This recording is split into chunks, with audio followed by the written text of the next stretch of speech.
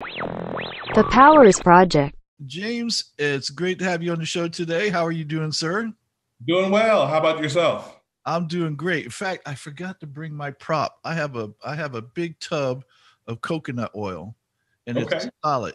And this is how I decide I'm going to judge my day from on from now on. If that if that big tub of coconut oil is solid, my day's good. If it's if it's if it's all liquidy, it's not good because that means my air conditioning isn't working. So, oh, man, yeah, yeah, I'm with you on that. It, it's it's it's a rough one over here in Louisville today, heat wise. So, oh, I can imagine. Yeah, yeah. Well, in Florida's not not much better, so you might you might have a little bit more humidity than we do. I'm not sure, but um, uh, the reason you're on the show today is because you're a lawyer, you're an advocate, and you're a lecturer who uh, talks on the topic of um, sexual assault prevention and consent. And you go around to the different colleges in the country and talk about this. Yeah. And so, yeah with with college getting ready to start uh, across the across the country, I thought this would be an important um, topic to talk about and get out there, and, and it's very time um, worthy as far as that goes. Uh, to mm-hmm. get out there now. So people know what to look for know because i don't know that a lot of people understand that this goes on on college campuses. I'm sure they, they've heard about it but they think that's one of those rare things. So speak to that like how prevalent is this? How aware do people need to be? And what do they need to be made aware of well i try my best not to throw statistics as that much because stats can be boring but i think it's appropriate here. The stat is that one in four students in college will face some sort of sexual uh, misconduct in their time in, in school now, that doesn't necessarily mean that one in four students are, you know, going to be raped in school.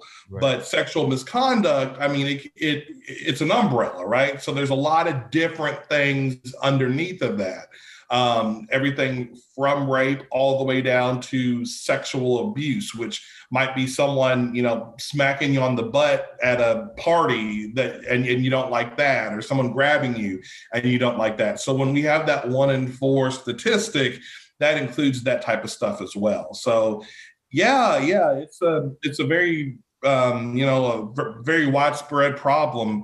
And one in four, that's just the stuff that gets reported. Um, right. You know, a lot of it doesn't, it never even comes to light for one reason or the other. So, that, so that's a lot higher than I thought it was, but like you said, that covers a broad spectrum of of uh, uh, crimes, if you will, whether it be you know slapping someone on the butt who doesn't want to be slapped on the butt, or if it's you know someone who's actually been raped or molested so the extremes that we have that you know we're that we when we think about rape we usually think about young young girls or women out there who end up you know who walk home late at night and unguarded or whatever and that's how they get raped is that the mm. truth or is that or is it more like like in real life where it's you know who the person was that did it and they took advantage of them yeah i think a lot of times you're right. When we think about you know the crime of rape we, we kind of revert to the hollywood version of it. Right. so what we see in television shows what we see in movies um, i'm a big fan of the sopranos. That uh, I, and i remember the sopranos when it was actually like new on tv so i don't want to make myself too old but i remember when it, you know new episodes would come on every sunday night um, and I, I, recently rewatched it, and there's one episode in particular in the first season where um, it's called Employee of the Month, and Dr. Melfi is uh, leaving her office, um, and she's assaulted in the parking garage. Um, of her office. Um, she's drug into the stairwell, and it's a really graphic scene. Um, you know, it was hard to watch, you know, back in 2000 or whenever it came out. And I mean, I'll, I'll admit that it's even difficult to watch now. And, you know, it's not to downplay that because those incidents do happen. But on the flip end, I, I think you're more likely to, you know, have a situation where it is someone you know. Um, where it is, you know, a classmate or you know someone in the fraternity across the uh, across the way, or a fellow student athlete, um, a boyfriend, a husband. You know, I mean, acquaintance, you know, uh, acquaintance rape is where some people want to put the, you know, those incidents under. And I mean, I guess that's a, a, a good term for it. But yeah, you're, I think you're more likely to see those things than you are, you know, the stranger with the trench coat lurking in the shadows. Right. And it's not just a, it's not just a problem that girls deal with, but guys also deal with maybe on a on a much smaller scale but they also deal with it because i know you were talking about um, there was a there was a male student who said oh uh, it would be you know next to impossible to for a guy to get raped and and he had no clue as to what he was talking about obviously Right. Yeah. So I was I was teaching uh, bystander intervention at a local high school, and this kid, he you can tell he's the class clown, the jokester. He puts his hand up, and you know he's like, well, you know, that doesn't happen to guys because it would take like an awfully big girl to rape a guy. And I, I'm sitting there listening to him, and I'm thinking, oh, okay. In your okay, so you think that for a guy to be sexually assaulted it would have to be from a girl. And I, I, felt like my grandma was like looking down on me whenever I hit him with the bless your heart. Um, because I mean, no, that's that's not it. It happens to guys, but it happens in it, it happens in, in interesting ways. Um, so, for instance, in, my book, there's a chapter on hazing. Um, and hazing is a very large problem, especially in the athletic world um, on the high school level, and then even further, you know, up into some of the pro, um, some of the pro leagues. Um, the hazing has taken a turn into the sexually violent um, side. So um, you'll have young men being sodomized with all different types of instruments from broomstick handles to the handle of a lacrosse stick or a hockey stick. Um, in the army in, in our in our very own military um, they report that sexual assault is the most prevalent and reported version of hazing that they have. Um, so you know same thing you know people are getting sodomized in their in their bunks or wherever they're at. Um, and eh, but the problem is, is that we we take this sexual assault but we give it the name of hazing or we give it like a cutesy name, like saying like, oh well, this is just tradition, or you know, like this is just what what you do when you're a new guy, you know, and and it kind of it kind of brushes it underneath of the table. Um, but no, I mean you're still you're still experiencing the same effects um, that you know someone else would be feeling as a sexual assault victim. Um, it's just making it a lot more difficult for you to come forward because certainly you don't want to be the person that comes forward and gets the team in trouble or gets the season canceled or um, you know you don't want to be called you know a, a, sissy or something by your teammates. So it makes it difficult for men to report to report some of that. Now that's one way that we have sexual assault for men. Another is um, uh, incidents where there are female teachers that have sex with their male students um, it, it, never fails. I see at least one story every year on Facebook where there is the mugshot of an attractive female teacher, and underneath of it, you know, charged with you know sexual assault of a 15 or 14 year old boy. And it never fails. I will go in that comment section and I will see people. Where were the teachers like that whenever I was in school?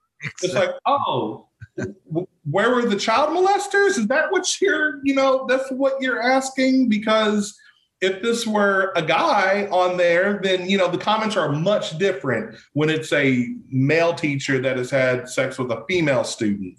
Um, but you know, once again, yeah, that's sexual. That's sexual assault. I mean, there's an age of consent and you can't give consent under a certain age. And even if you can, you're in a position where it's an authority figure and a subordinate where that shouldn't be happening. So, yeah, it definitely happens to us too. Okay. So I have a ton of questions. And so let, and, but I want to be careful on how I ask this because I don't want to be insensitive. Mm-hmm. Um, but let's get back to where the guys in hazing. I first off, I thought hazing was eliminated from colleges. I thought, um, or that the majority of them eliminated hazing. That if you did hazing, you're going to be expelled from the campus. Is that not uh, the case? Well, yeah. I mean, most colleges will be very quick to uh, cite their no hazing policy.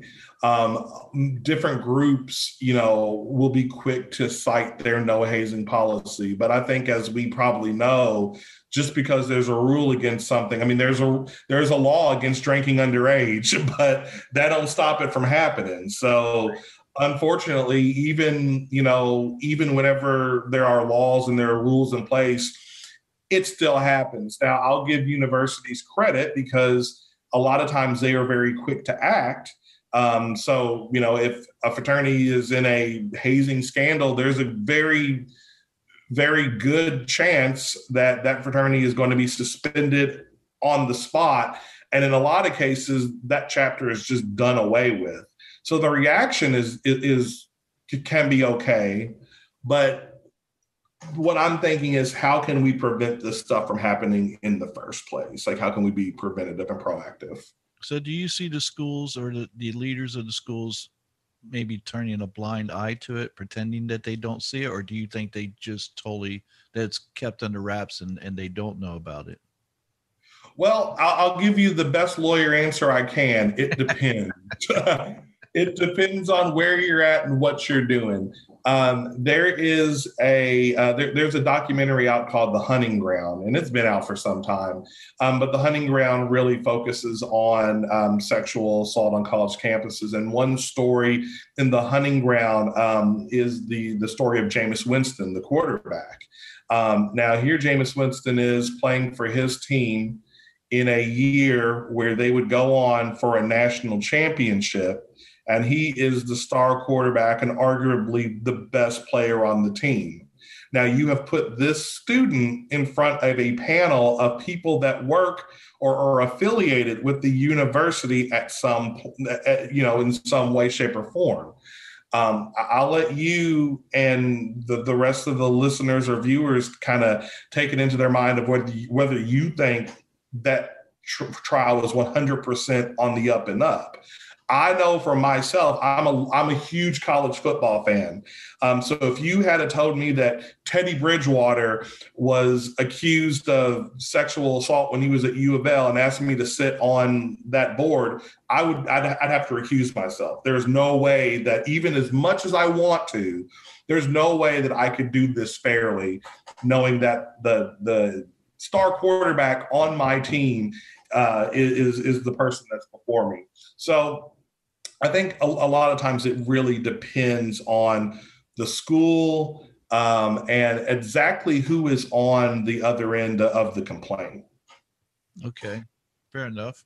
so, and I could, and, and like, and you're right. I've seen that uh, throughout the past where you see people who are star athletes who who seem to get more than a fair shake on on how you know how things the outcome of things uh, and give it a bit more than just the benefit of the doubt. And it's and and that's troubling, obviously, because basically you're saying if you're of a certain stature, you have certain you know uh, gifts that that uh, people want that they need for to win that you're able to get away with things that other people wouldn't get away with. And uh, and I think obviously that sends a, a, very wrong message. And and and then on top of that, the victims that were harmed, there's no there's no closure. There's no justice, you know, for them. So um, so now they're harmed a second way by the system itself. It also makes it very difficult for students to feel comfortable coming forth. Um, so I'm a Title IX coordinator at a university myself, and it can sometimes be very difficult to, you know, you hear of, of, a, of an instance or you hear of something that happens. So the very first thing we do, reach out to you know we reach out to the student and a lot of times they don't want to proceed because they have heard numerous stories of people getting burned by the system. Um, so it makes it very difficult, I think, sometimes for people to come forward um, with with the issues that they have. So, um, so when I was when I was uh, introducing you, I, I, I was telling people uh, that you were a lawyer and advocate and um, and what you talked about. But I also should have added that you're an author and, and you're the author of a book called The Title IX Guy. So if you could just give us a brief, uh, you know, um, understanding what Title IX is exactly.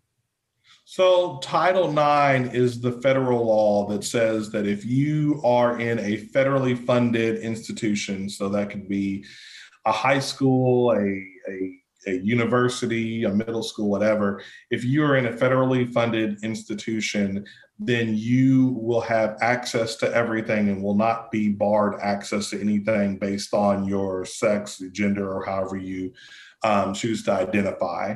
Um, it also gives students uh, rights whenever they have been um, victims of sexual misconduct. Um, that's the side of Title IX that I work on. Now, there's a whole other side. Um, if you ever have anyone that's um, you know, in college athletics on your show, they can tell you all about the other side. Uh, and the other side is really based on equality and equity. Um, if if the the if the men's basketball team has you know state of the art practice facilities, then the women's basketball team better have something equal to that. Um, that's the athletic side of, of, Title IX. But the the side I work on uh, mostly focuses on sexual misconduct on the on the college campus. Did you ever did you ever play sports in college? I did not. I was a uh, a rabid sports fan uh, but but just like poor Tony Soprano, I never had the uh, makings of a varsity athlete. Um, well, I did for a short while, um, and I you know, and I also participated in in sports in high school.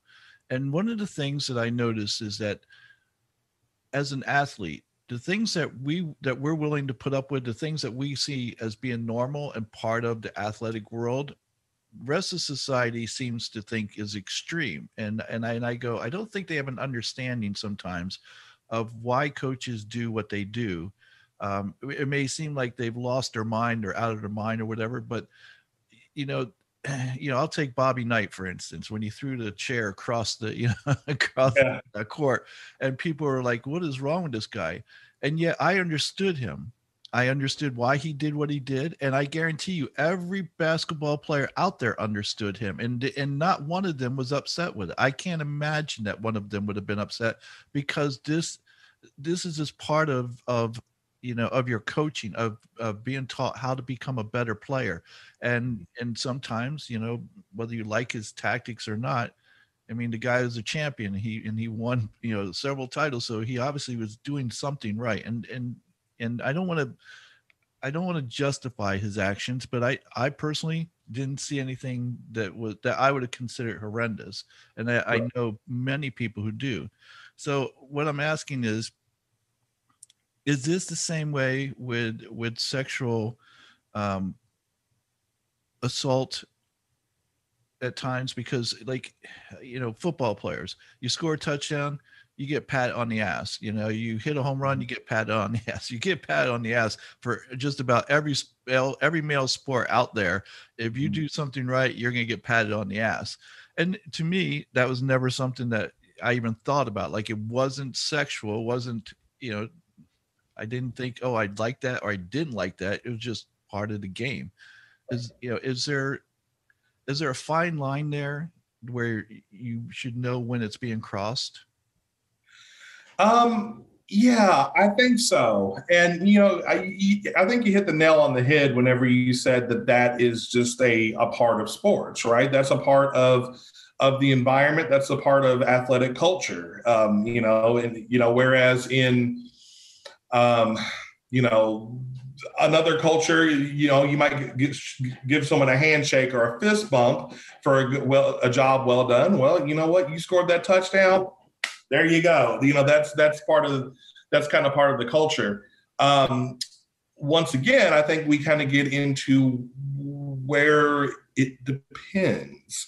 Um, whenever I ask a, a group of students, so for instance, I was doing a, a, um, a lecture with our school's volleyball team yesterday and we were talking about um, we were talking about things that kind of fall under the sexual abuse umbrella i asked them i was like hey okay so i want to see a show of hands and i'm going to participate too raise your hand if everyone if anyone has ever smacked you on the butt before.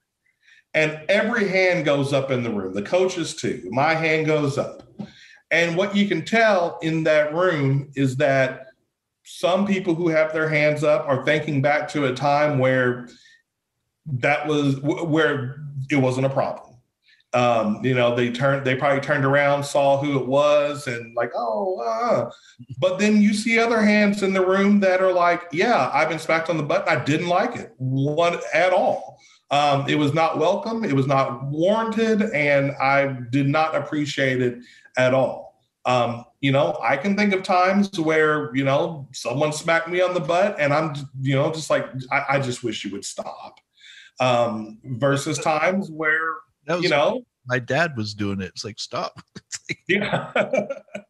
but there's other times where, you know, maybe I was very reciprocal to who was doing it. You know, I mean, it, it, it, it really matters of what the situation is. So th- that must make your job very difficult. And and and and here's the here's the challenging part. I've got. I, want to be careful how I say this.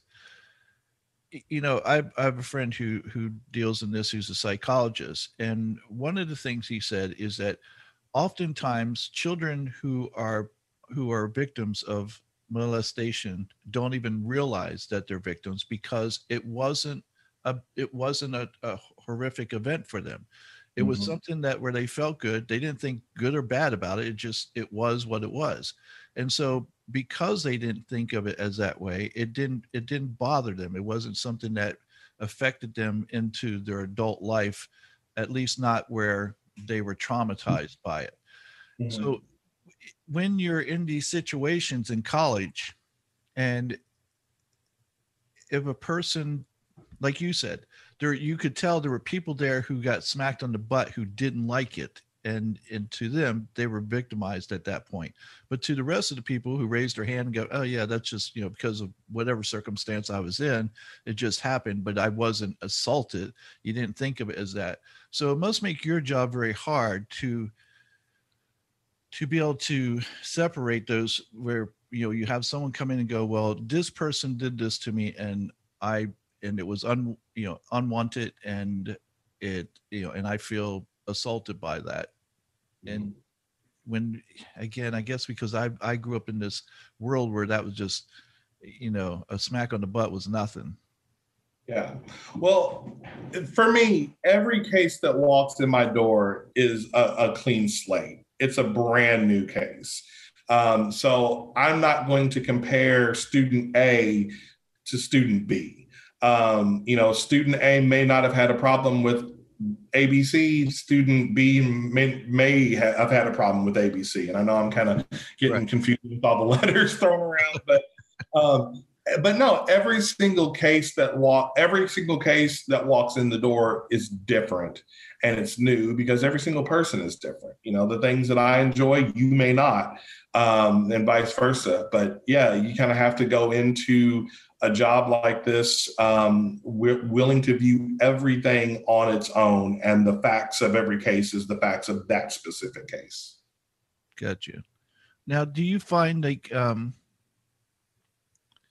with the teacher, with the female teacher, that there's this sort of fetish, this fetish, I don't know how we fetishization of it, I guess you might mm-hmm. call it, um, of like you said, all the guys are there. Well, where's that? Where was that teacher? I was in school.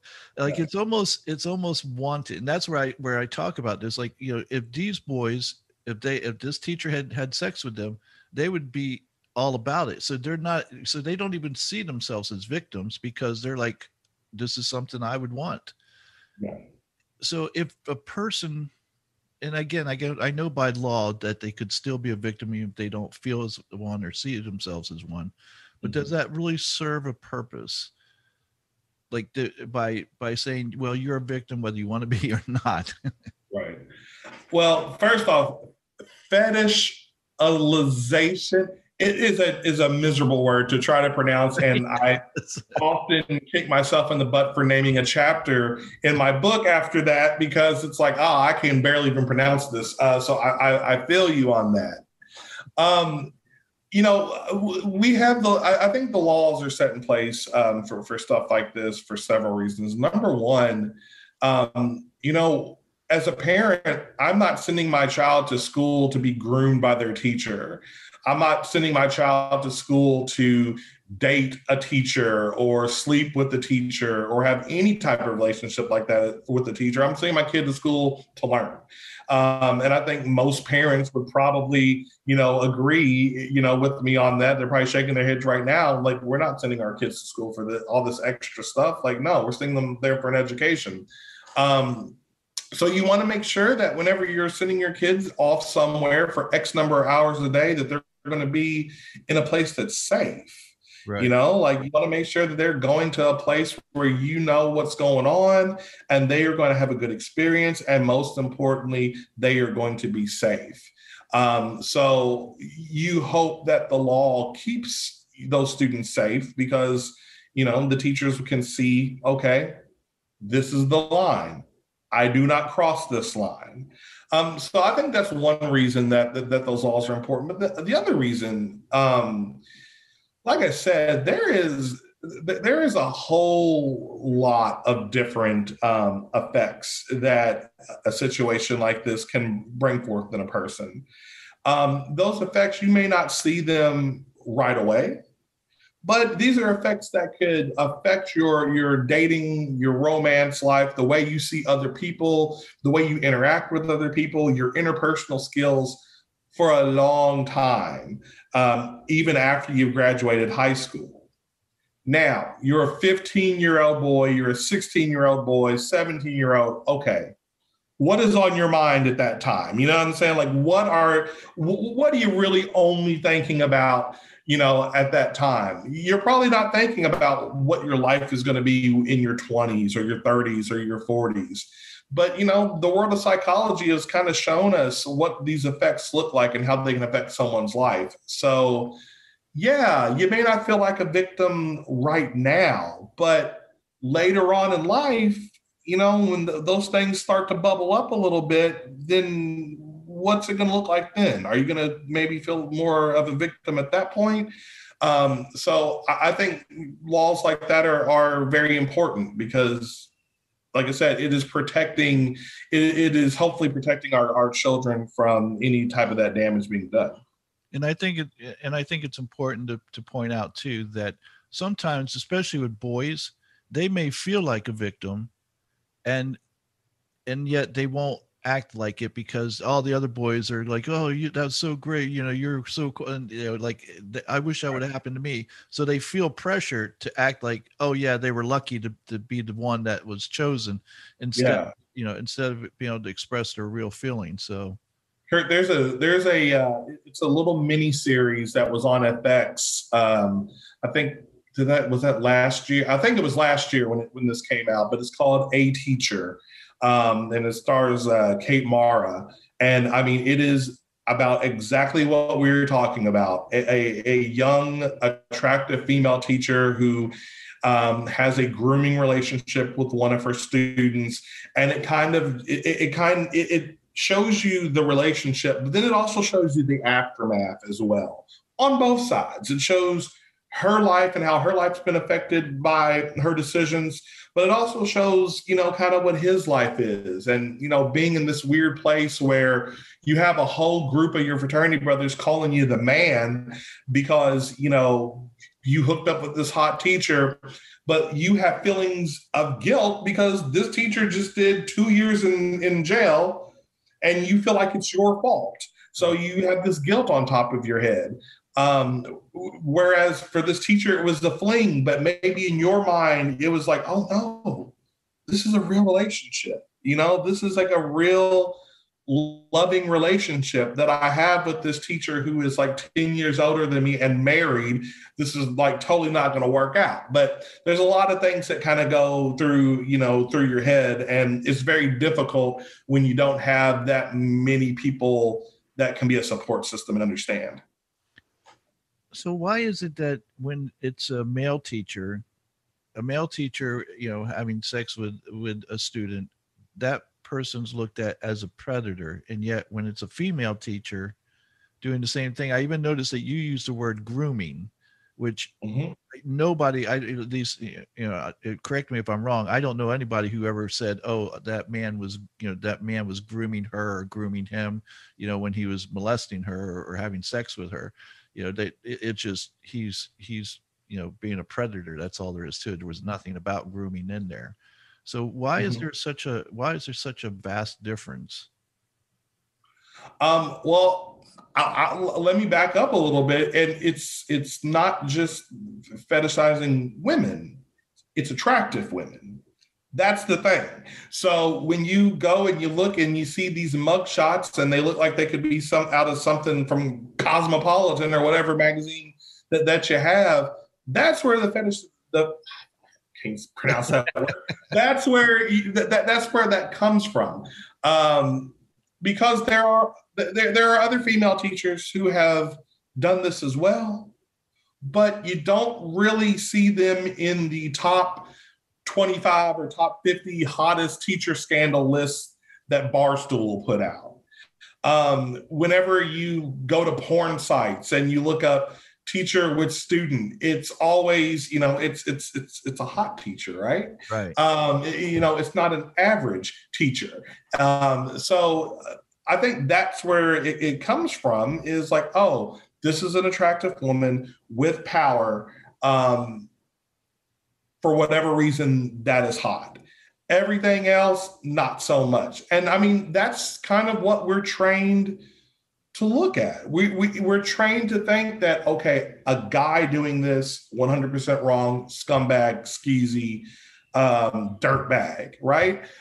But depending on what type of media that you intake, you know, look at what one thing, one show that or movie I could think of was uh, American Pie, the very first one with Stifler's mom. Now, Stifler's mom wasn't a teacher, but you know, I remember watching this thing in high school, like maybe I was what a junior, so kind of in my formative years still.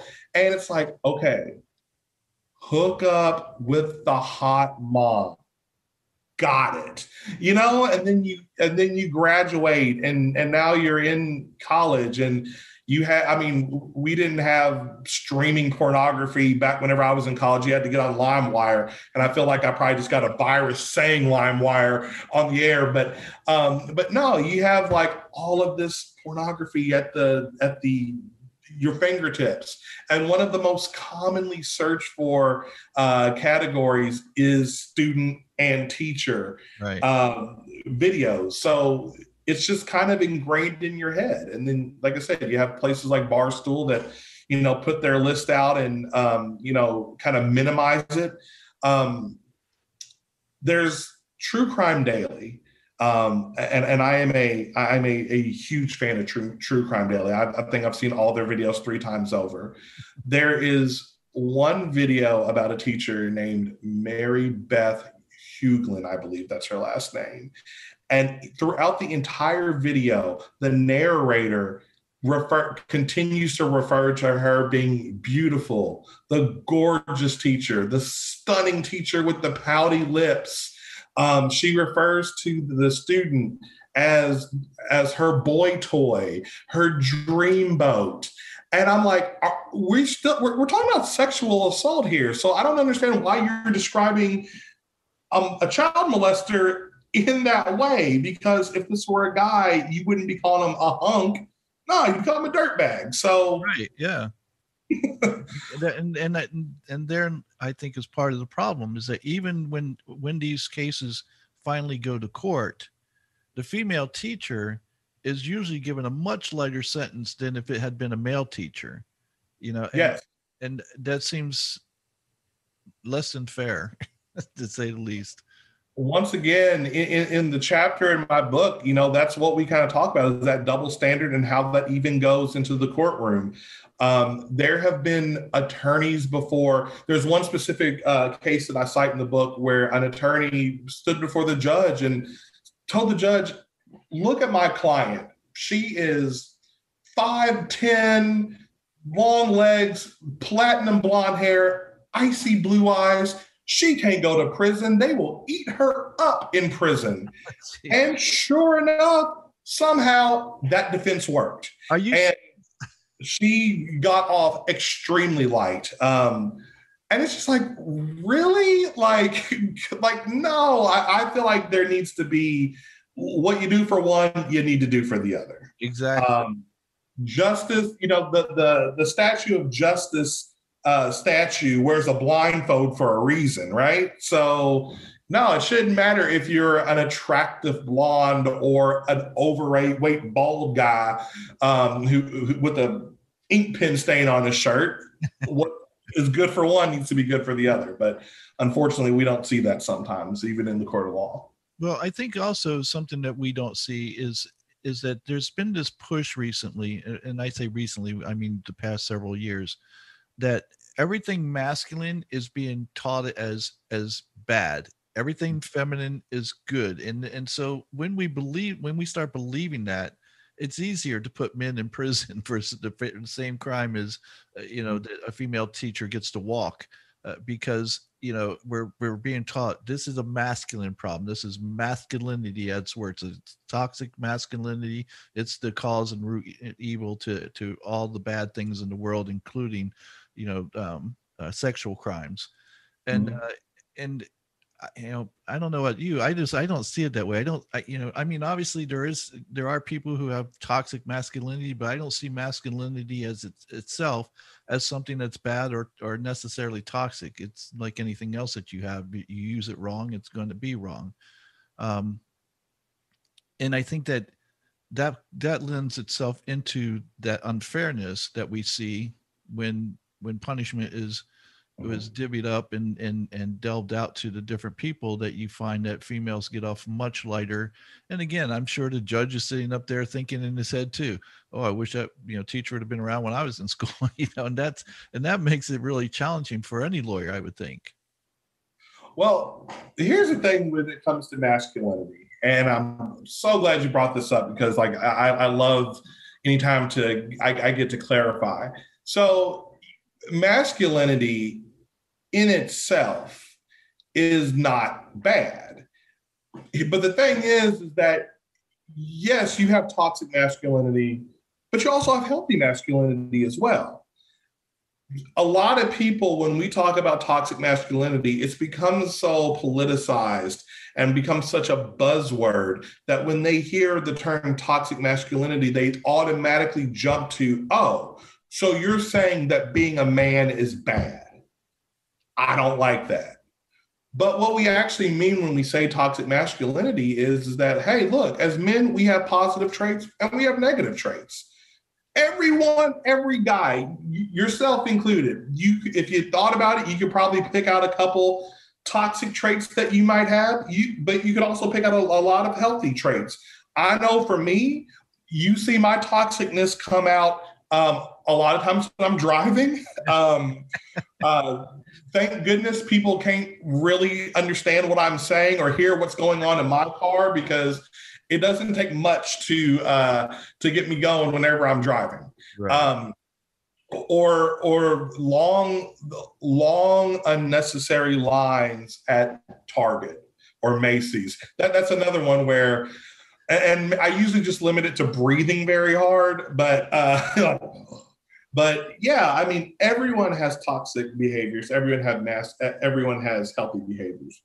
Women have these things too. Right. Well, um, masculinity as well. You know. So and they, you know, women, and I don't know what you want to call it. I don't want to know if you want to call it toxic femininity or or what, but women have both sides have both sides too. There's healthy behaviors and there's toxic behaviors. But going back to toxic masculinity, all we're saying is, is like, look at the toxic behaviors that you have and work on those.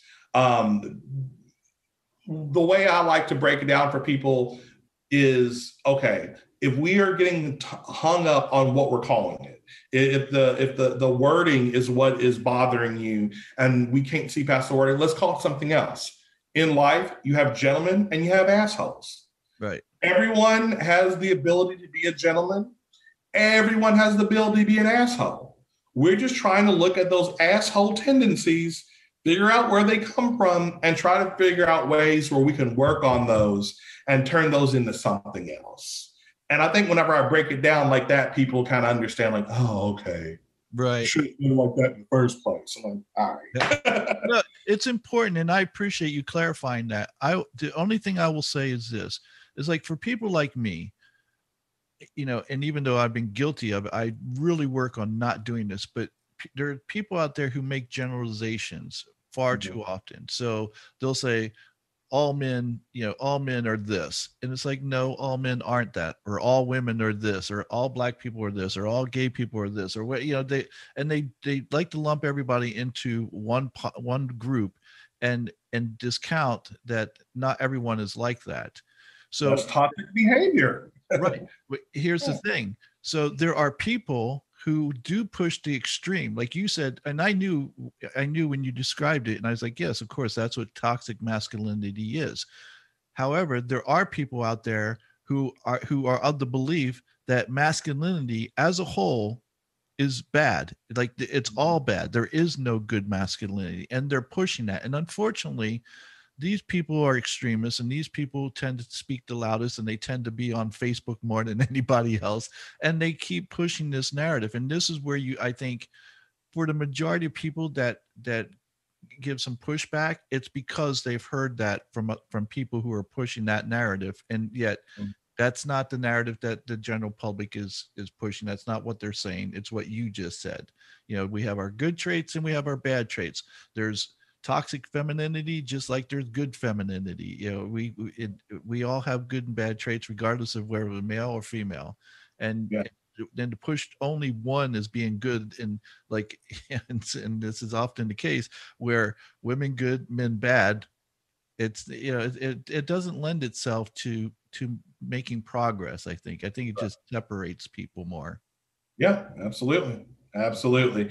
Like I said, it's it's become so politicized. I often I often joke with my friends and say, like, do we need a masculinity rebrand? Do we need to rebrand this and call this something else? Because if I have to spend 30 minutes arguing over the terminology, then we're never even going to get to the meat of the conversation. Like we, we I've, if, I, if I've explained the terminology to you, we've already lost. Uh, you know, maybe we can come back and try it again at some point. But um, no, if you're arguing with me and saying, "Oh, well, toxic masculinity is, a, is an attack on on the man," it's like, okay, I'm gonna let you go ahead and you just do your thing and you believe that. But for the rest of us over here who get it, but it, it, it can be frustrating trying to teach that. I will have to tell you, you're the first person that I've ever heard suggest that, which is what I suggested a long time ago, and I found there was a lot of pushback. I was like,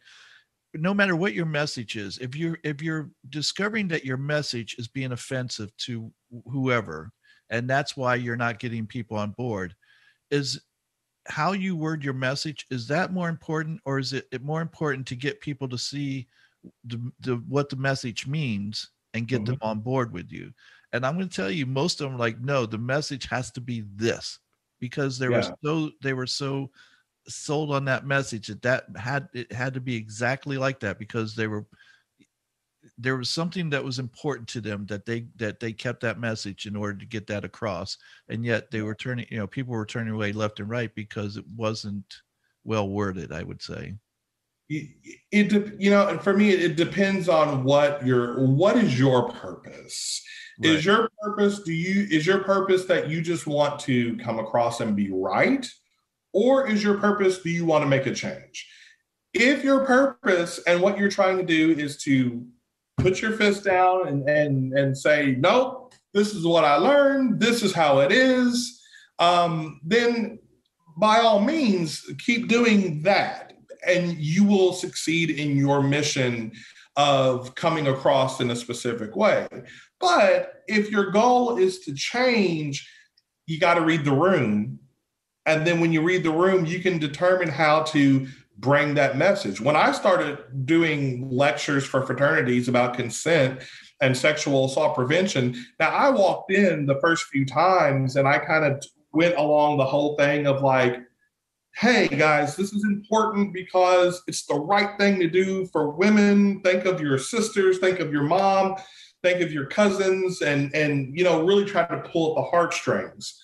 Um, and it, that worked a little bit, but whenever I put a little bit of reframing on it, um, and and it worked a lot better. What I mean by that is I started approaching it as, hey, look you guys are fraternity guys. I'm I'm one of you. I, I, was in a fraternity. I'm an alum.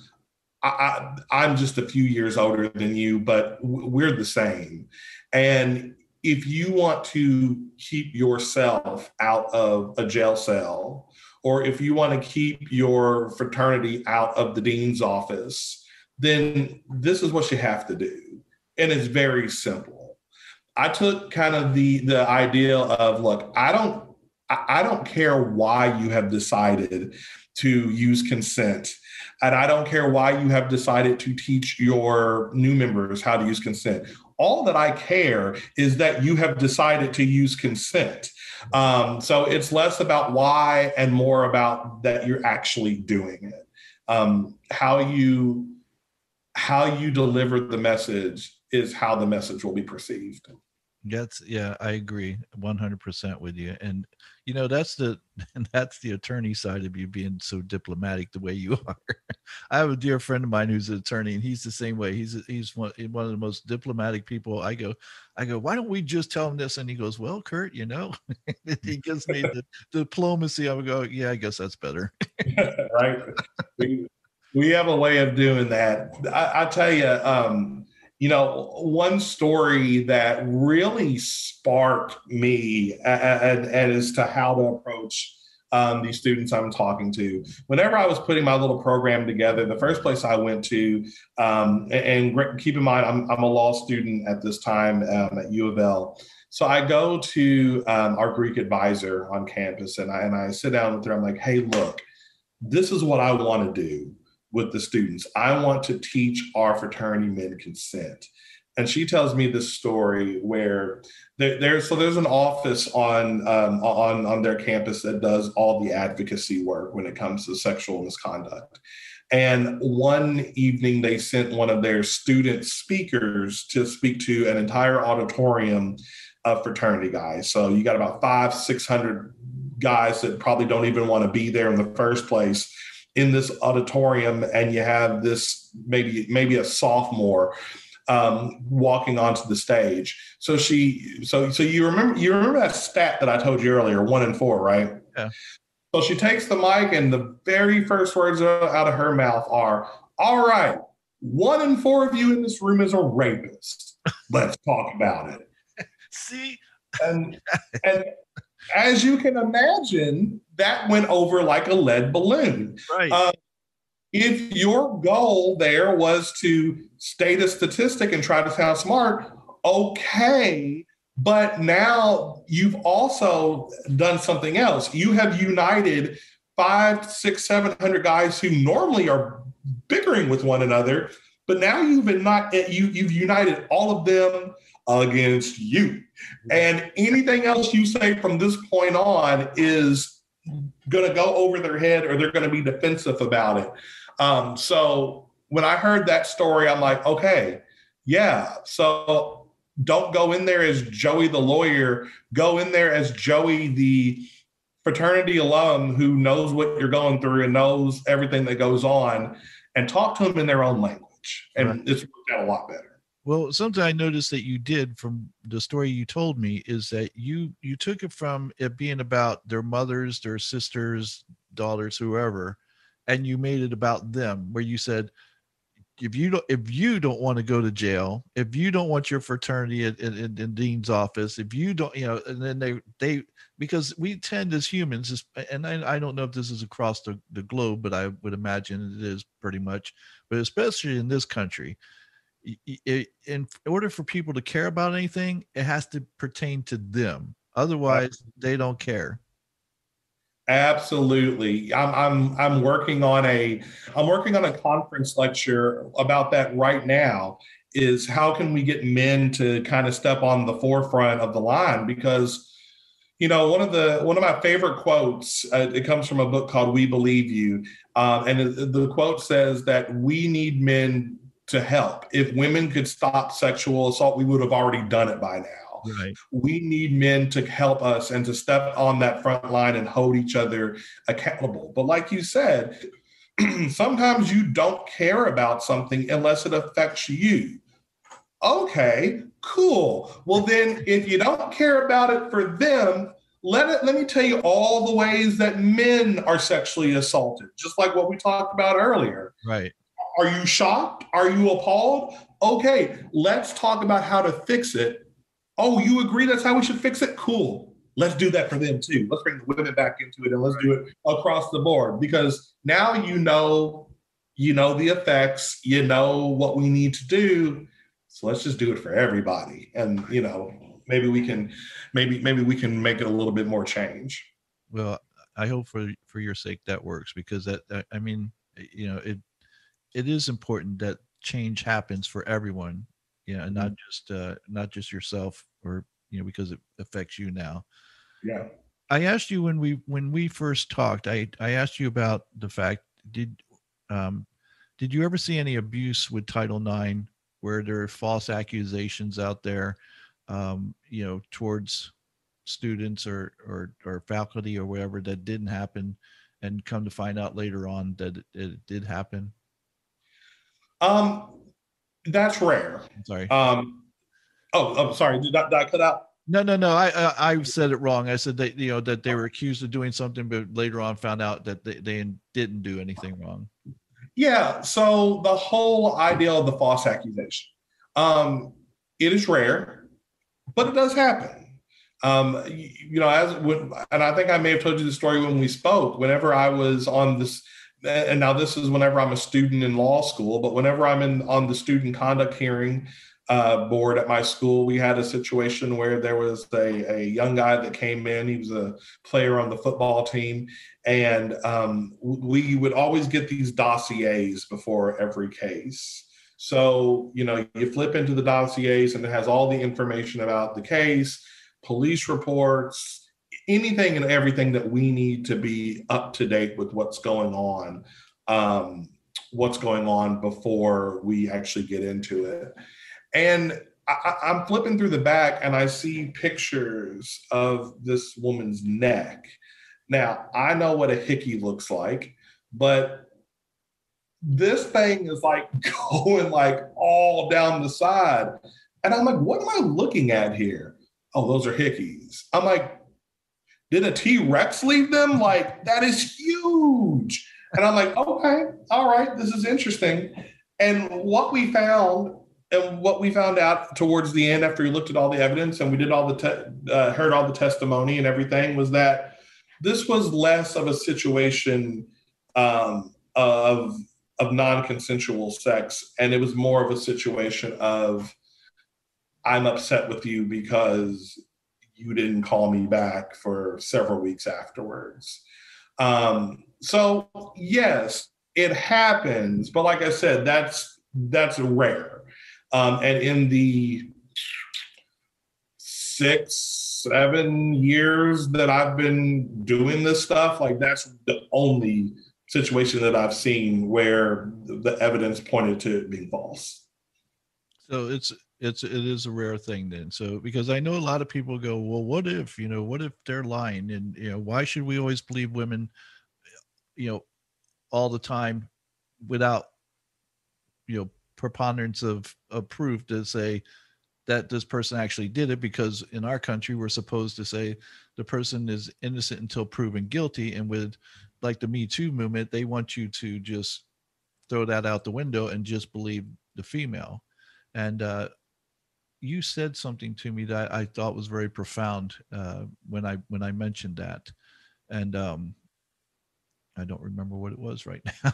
Was. Um, well, what I said was is that, especially for me, kind of in the role that I am, it's important for me to listen to women listen to anyone really because like i said i mean let, let's broaden this out a little bit i mean let's take it even beyond women i mean the men too but to listen to when that case comes in your door or when you get that phone call at two in the morning or you know when you're sitting down for coffee in the middle of the day and someone says hey can i tell you something it's important that we listen um, now the lawyer side of me, there's a whole fact finding thing that comes after the listening.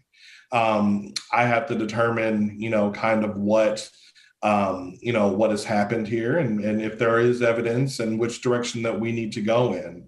But in order for me to get to that point where I can bring us to some level of justice one way or the other it all starts by me listening and not pushing things under the rug not diminishing anyone not diminishing um, you know people's feelings or what they're saying at the offset but to really sit down and listen um, I think that's one of the issues, um, you know, when people were upset with the Brett Kavanaugh situation, that was one of the things I think that people were really upset about was the the investigation. Um, and you know, I'm like I said, I'm I'm in Kentucky, so um, oh Mitch, oh Mitch. Uh, but um, you know, the the so-called investigation. Well, if you were going to do an investigation, well, then you have a whole federal bureau of investigations. So why not bring them in? Why not call with the witnesses that we that you know people are saying to call? Why not? Why exclude this piece of evidence or that piece of evidence? If you're going to do a, a an investigation, give us a real one, not a kangaroo court. And I think that's one thing that people were really upset about was like, oh, we're going to investigate this for two days and then afterwards we'll be able to say we did so and then we can still let our guy in um, regardless of, of what may or may not have happened um, that is a um, that that's an instance of not listening um, so that that that's where i that's where i kind of fall in it um, is listen to listen to women listen to everybody. Right. And that and that's what you said. And i thought you know that's that's what's important is that that women are listened to. I don't mm-hmm. necessarily think that you know you discount or approve their you know what they've said but you listen to them and then investigate like you said. It's unfortunate though especially on on you know the level of, of politics or or or things of that nature is that the system is so rigged that you know, like you said, Mitch McConnell wasn't going to let there be a real investigation of, of Brett Kavanaugh. You mm-hmm. know, the same thing's going on with Jim Jordan of Ohio, Matt Gaetz of Florida. Uh, you know, even Joe Biden and Donald Trump and and how they handle people and, and fondle people in public. I just go, wow, how do how do you allow this behavior? And you know, and these are presidents of the United States, and and you can try to dismiss you know th- what they're doing as oh it's just harmless. But if that were you or me up there doing that people were like what's he doing? You know fondling this girl or fondling that boy or whatever. You know it would it would just people would be outraged. But because uh, they're uh, people of power it's okay yeah and it's important and I, you hit it it's important to, to to note that it does go both ways because look you know the ele- election 2020, as much as I wanted a brand new president at that time, it's like, but this guy has these accusations. Are we listening to the women that are making these accusations? Or are we just going to not listen? We're going to just plug our ears because we want a new change from the administration yep. so bad. I do not believe that we listened to those women and to those accusations because if we had of, there would have been a little bit more of an investigation instead of not having any at all. Right. I I completely agree. They didn't want they didn't want to hear the answers because then that would that would upset their whole their whole plan of well i won't get into it because that's all about politics. But you're right but it just is completely unfair and, and you know for me i rem, i remember the first time i i'd seen a woman completely just you know dismissed was um during clarence thomas with uh anita uh i can't remember her name right now it's been a long time but clarence thomas when when anita and I apologize for forgetting her name, when she charged, you know, you know, the sexual misconduct that he had committed, and she just was simply dismissed, wasn't listened to at all, you know, and um, it's unfortunate that women have to deal with this on that level. Yeah, yeah. I mean, it's and especially you know since you know we're in the political world um, right now in, in, in our discussion, there is a whole other layer that goes, you know, over top of that because, you know, whether you're um, Anita Hill or um, anyone else, it's already it's already a, a a kind of off environment in politics for women anyway. But now you tack on sexual harassment that that might go on, and it's like, okay, what do I do? do I report this? Well, yeah, you would think, okay, let me report it. But if I report it, am I shooting my own political career in the foot?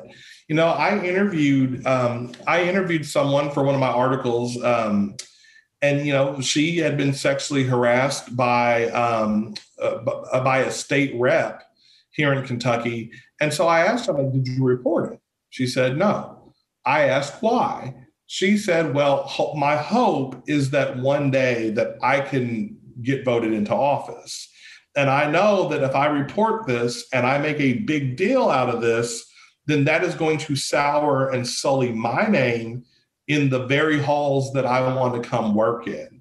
So it's like, geez, Louise, like it's already difficult enough to report this stuff anyway, but now you you have to you know, put that extra layer to think that your entire career could be over before it even started, you could you could come out of that you could come out of that accusation and investigation and trial you could come out of it on the winning side and still lose because even though you were found to be the one that was right in the trial or in the hearing well now you have that stain on your name and you know certain people in certain circles won't even touch you because of that specific scenario. So it's like geez it's like a whole other layer of bs on top of everything else you have to go through at your job. It's crazy.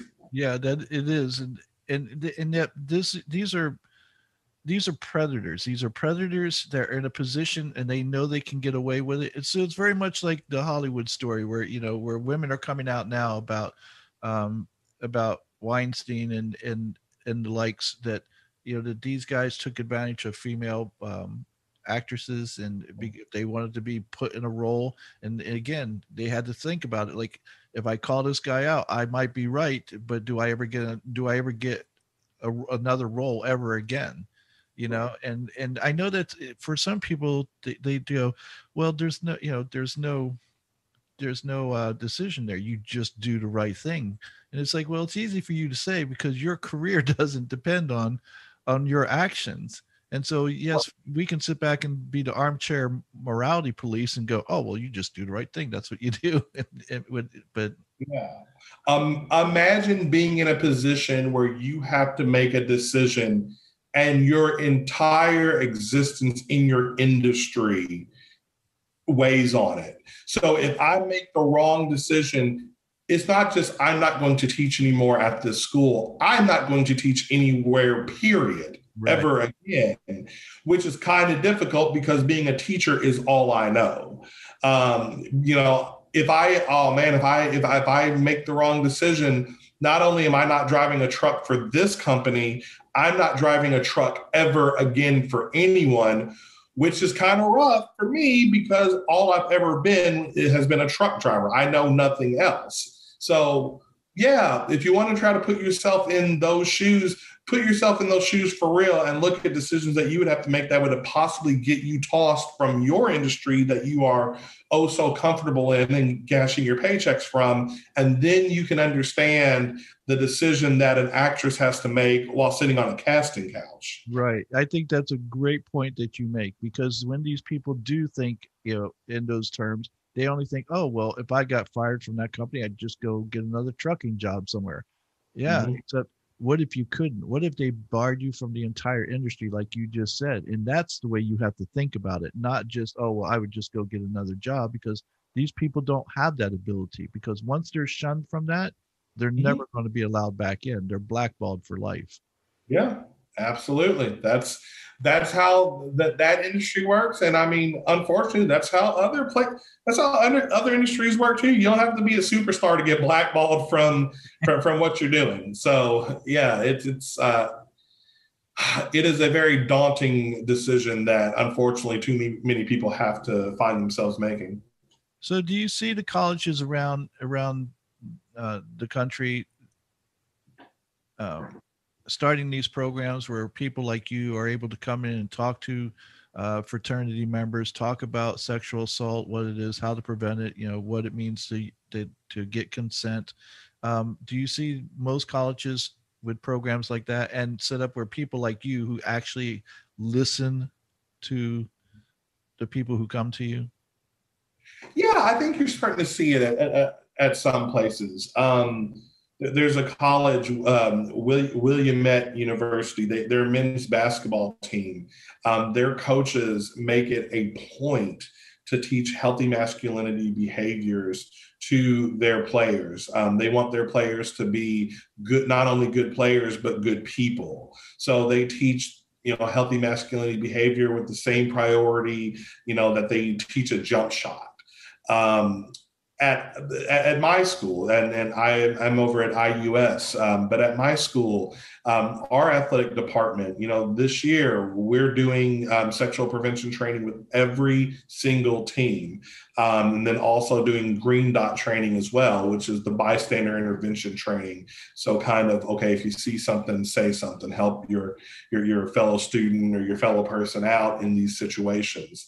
Um, th- that's going to be the entire athletic department that's doing that. Um, at U of L, um, you know, I know that they spend some time working with their fraternity men specifically, um, and and it's it's really impressive whenever you consider that you know they have a they have a really small shop over there. Um, so there's a, a very few people doing a lot of things. So it's very um, it's very great to see that they're taking on, um, you know, all of these hundred guys um, to do education with them properly. Um, Eastern Kentucky University, they have a program called Greek 101 that they do um, at the beginning of each year for every new incoming uh, member, whether you're a female or a male um, that addresses you know this material along with um, you know alcohol safety and whatnot. So you're seeing it. You're, you're you're seeing it pop up in different ways, you know, in different places, and I think that I, I think it's fantastic. Um, I, I will always I'm, I'm going to be that guy that always says we could be doing more. Um, you know, I feel like we can never not do enough. Um, but you know, I think it takes, I think what it takes is to have people that really consider themselves advocates in this position. You can do this work to check the boxes off, and that's fine. But if you approach it like you're really trying to make a change, that's when you really start spending a little bit of time with your students and with your staff and your faculty. And that's really when you get the real um, landmark programs that are being put together. Okay, so I have a statement and I have a question, and let's see which sure. one. I'll do the statement first. I love what you're doing, and I think it's important. It's extremely important that we have more people like you who know how to deliver the message. It, that you know, there's that old saying, "Don't shoot the messenger." Well, sometimes I think maybe you should because the, the, the way they're delivering the message, they're doing more harm than they are good to the very, you know, the very you know, uh, activity that they're trying to promote.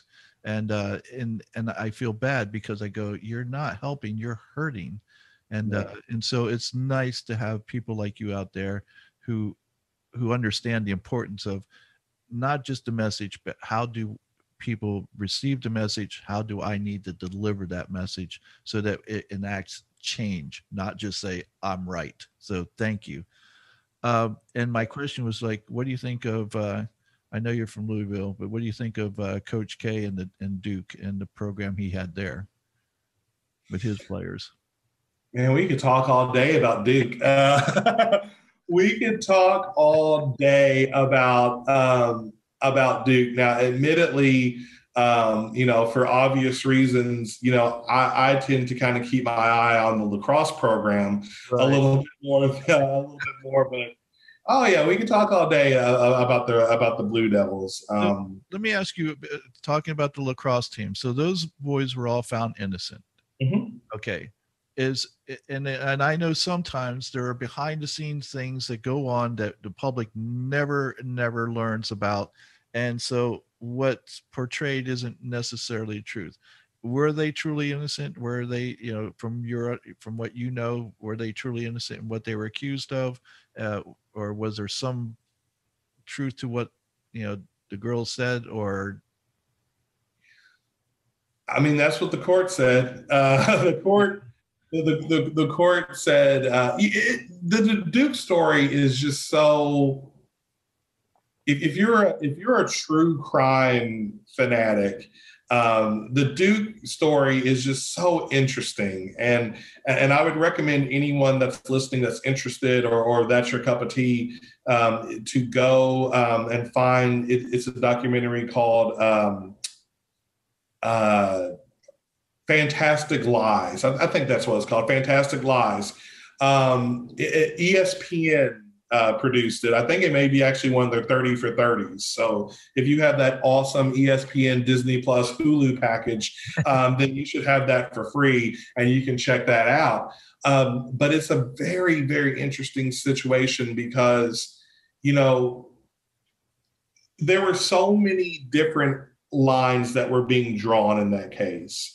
On one side, you have the Duke lacrosse team the blue bloods, the rich kids, the the the people that we have always been told, oh, those are the douchebags over there. Right. Um, and then you have um, you, you have an African American woman who um, you know was an exotic dancer, um, which you know we've always been told, oh, exotic dancers usually have a lot of issues going on, and that's not a um, a respectable thing to do. Which I mean, you know, that's hogwash, but that's what we've you know always kind of been told. So you kind of have these two areas kind of going at it, and it was very interesting to see how the entire you know community you know got involved the entire community kind of got involved there and you know you picked a side for better or worse. You picked a side. Um,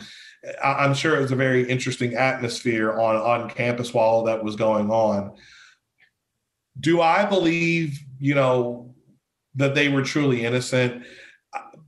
I'm, I'm going to take the uh, I'm going to take the the legal way out of this and say that um, for me to make that decision, I, am a person where I need to see I need to see all the evidence before I can make a decision like that. Um, you know, surely you're not seeing everything in a one hour documentary on ESPN. So I need to kind of see a little bit more of the evidence to uh, to make that decision. But you know, it, it was it, it's an interesting one, and like I said, that's a good documentary for anyone that wants to check that out. Well, I'm going to throw one more case up to you, and I'm not going to be a lawyer because I'm not a lawyer, and I'm not as diplomatic as you are, my friend. So that gets me in trouble sometimes, but that's okay.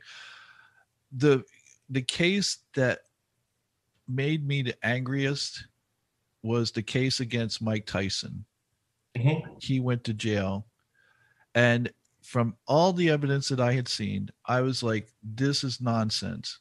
it's at the very most it's his word against her word and they decided to take her word and mm-hmm. i go how there is absolutely zero proof whatsoever that he did what she said.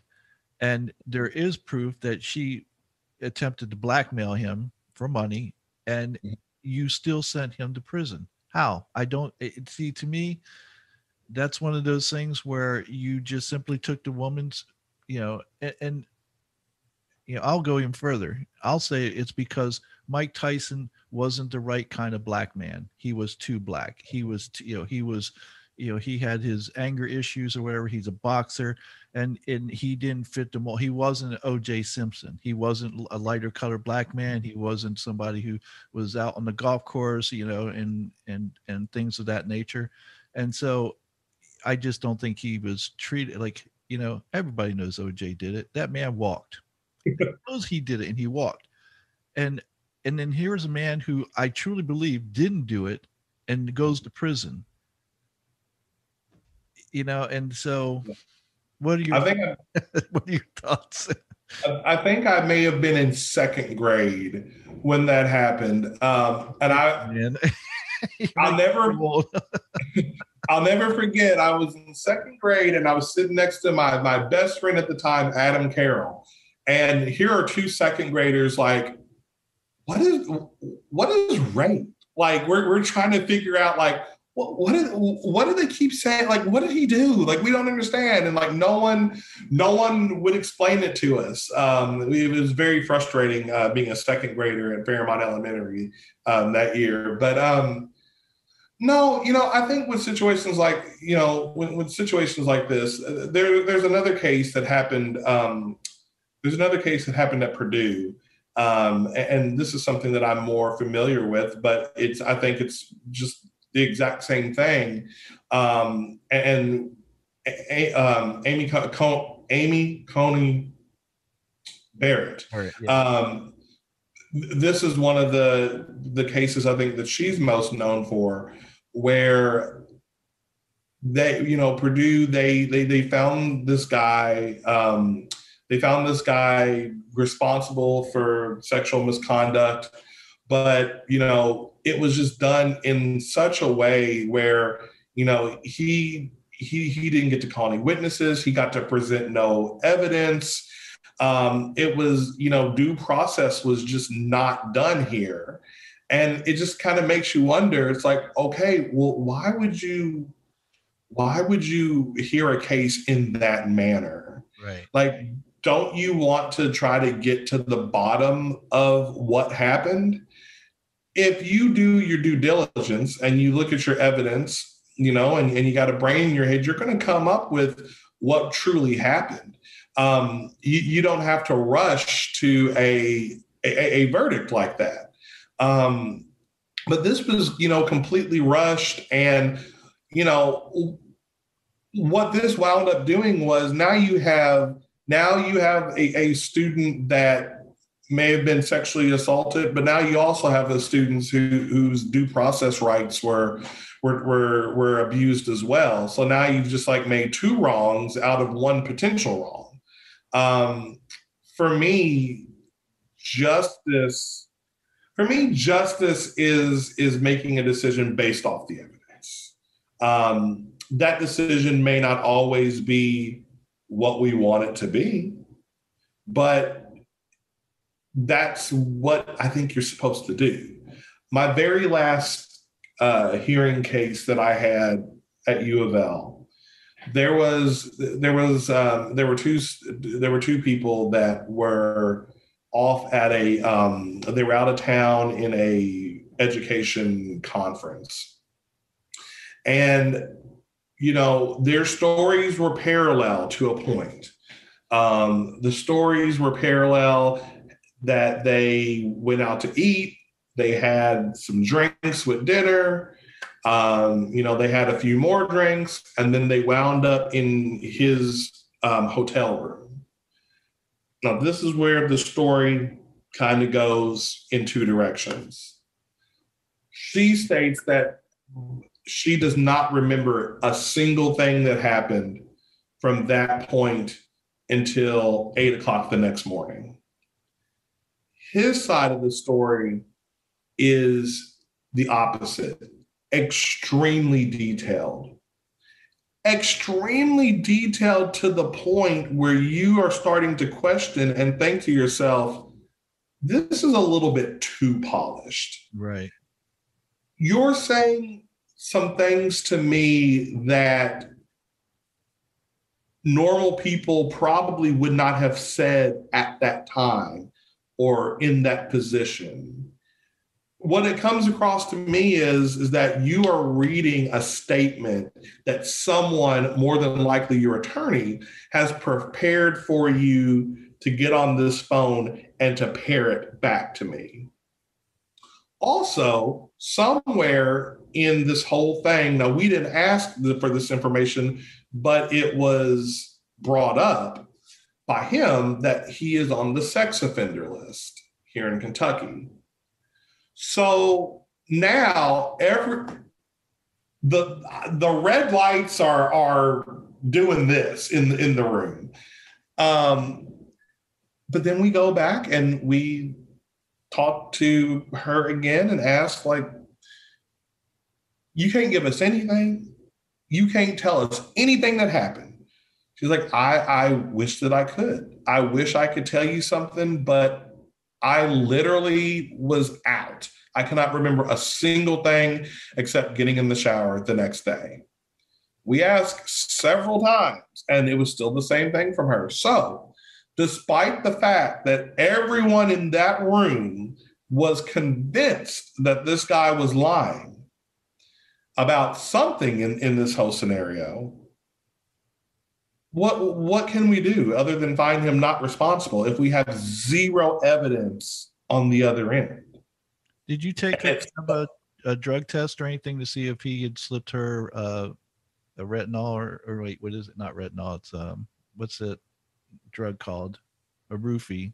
That um, yeah, and, and this the time frame of this was so this had so the thing about Title IX um, in college is there's really no statute of limitations to these things. Mm-hmm. So you you something could happen to you as a freshman and you could bring it up as a senior and we still hear it. Oh, gotcha. um, so there's no statute of limitations. So this this person had actually already had graduated um, graduated the school and had been out for about a year and a half um, when we ask why are you just now bringing it this to us, she's like, well, you know, I was at a, I think she was like at a take back the night, um, you know, ceremony or something, and that really kind of inspired her to to bring it back to us, which is fine. Like I said, I mean, we will hear all cases um, regardless of the time frame on it, but yeah, like if we don't have any evidence we have no choice but to rule in the other direction. And I'll tell you, Kurt, man, it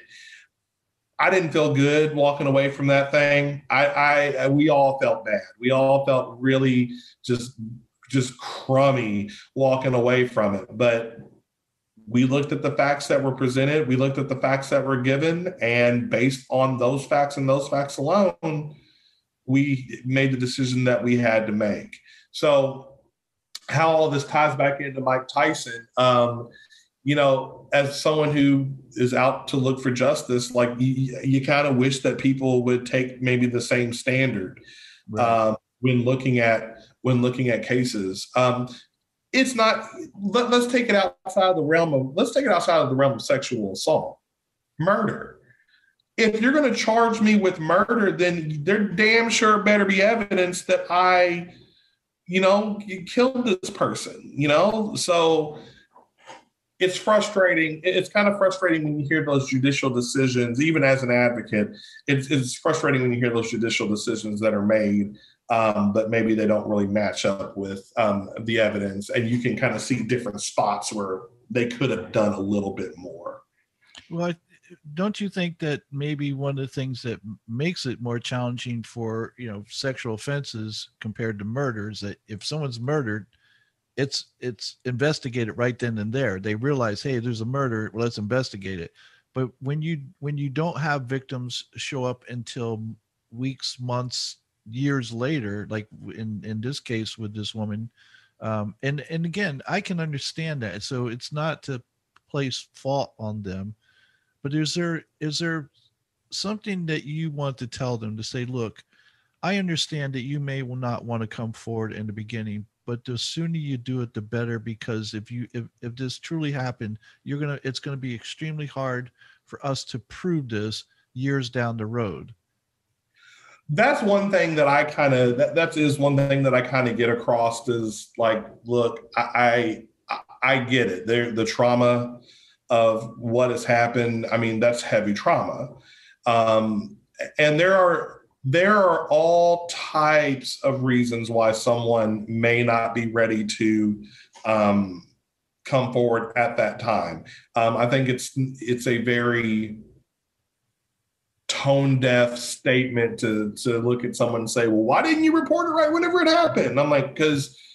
I mean, shit. Sometimes it takes. Sometimes it takes a little bit for you to process what has happened. Um, now, that being said, it certainly makes our job a lot easier.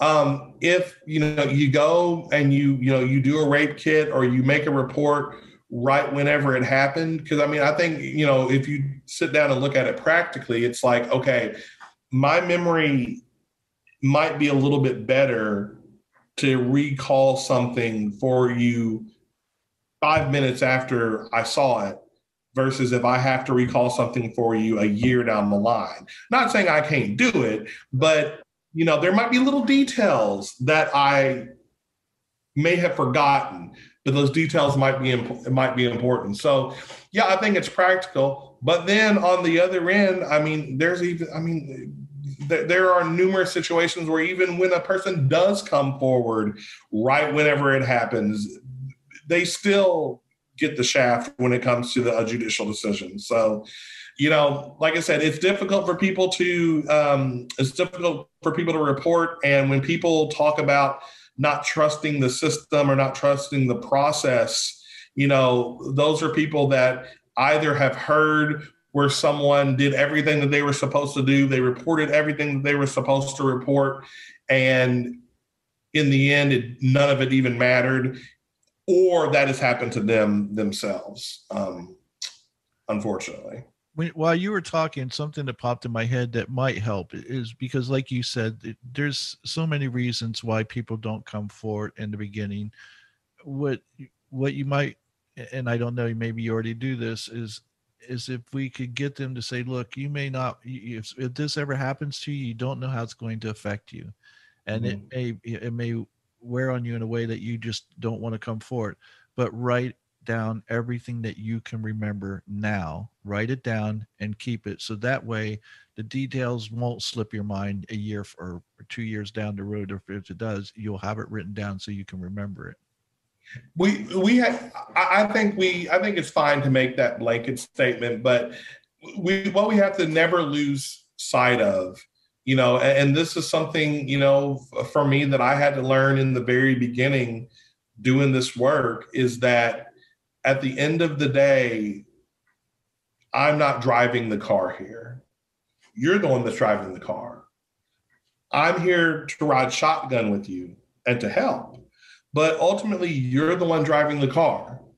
And our journey in this as a conduct matter it can go as far as you want to drive it to, or it can be a very short trip.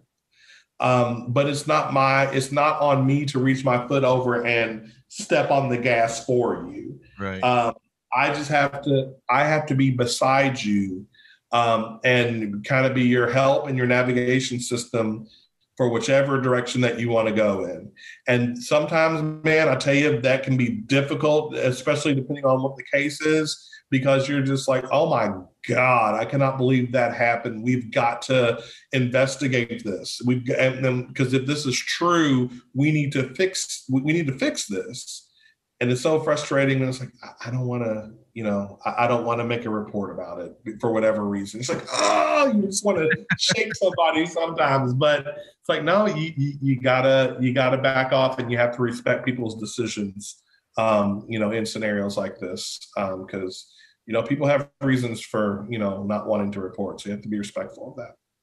All right, so so we've identified the problem that there's absolutely a problem on college campuses throughout the country. I mean, if there's one in four, and you're talking 25% of, of, of students throughout the country are, are going to experience, you know, sexual assault on some level. Um, mm.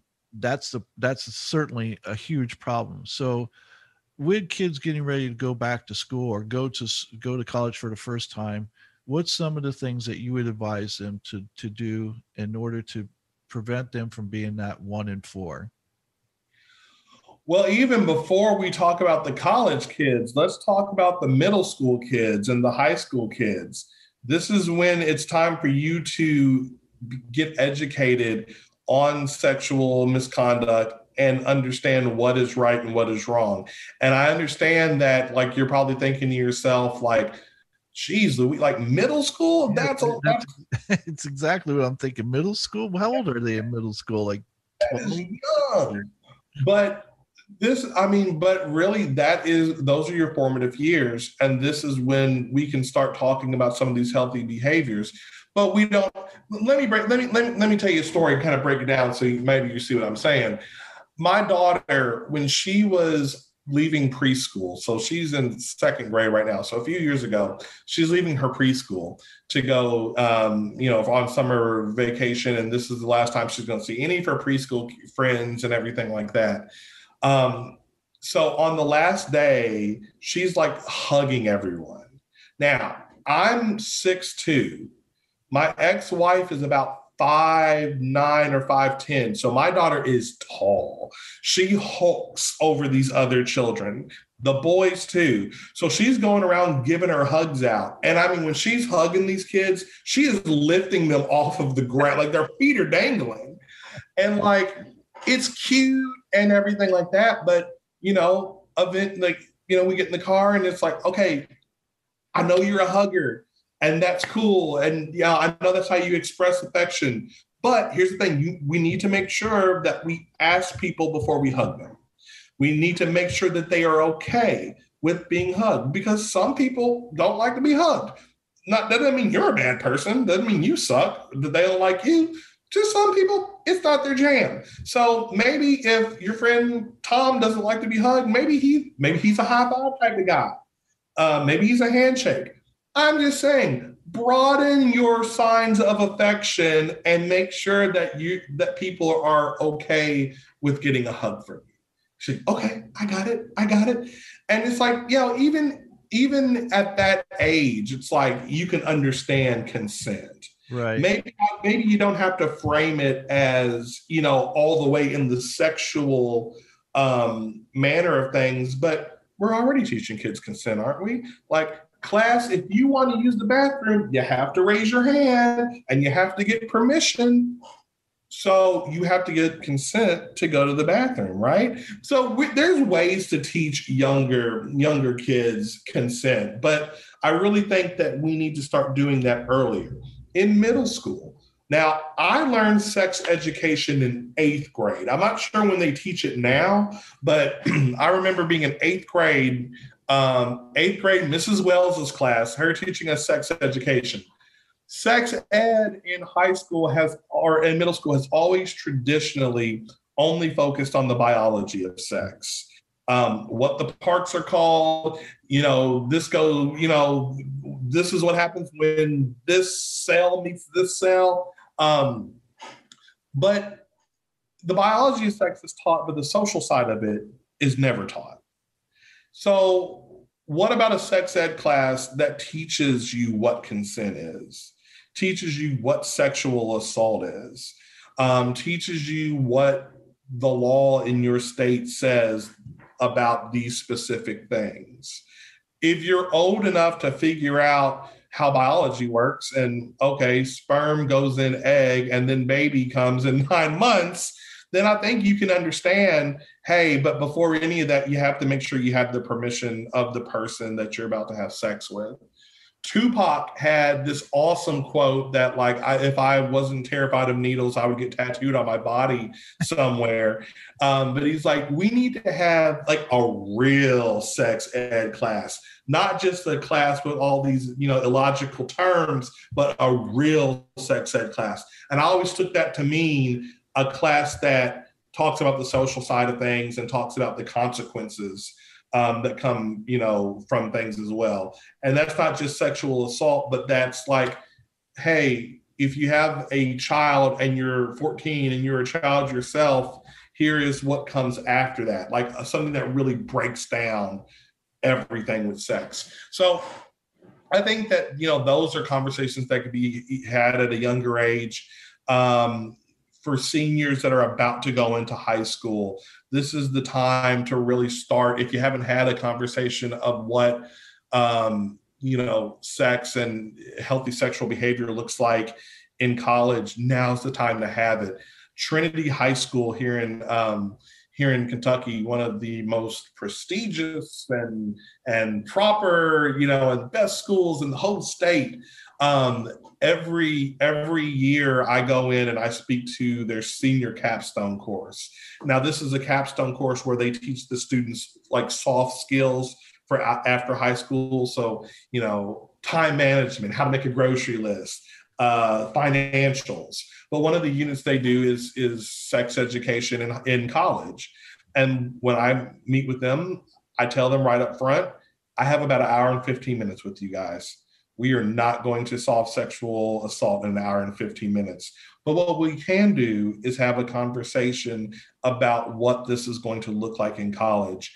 Um, because in college, college is the most fun four years of your life for a reason because there are a million different social things that go on tailgates house parties frat parties dorm parties kickbacks step show like everything happens. And there's usually booze at those things. Like booze is very easy to come by in college. And there's also another thing called college girls that I understand seniors of this all boys school that you haven't been around that much for the past four years, but it's about to be a culture shock for you. So let's talk about how you can go through college and still indulge in all of this fun stuff, but do it in a safe and responsible way.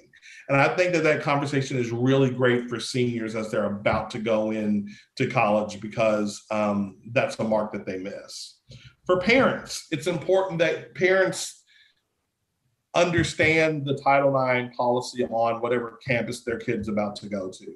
Because here's the thing regardless of how old your child is, whether they're eight, they're eight or 18 or 28, they may consider themselves, ooh, I'm a big adult.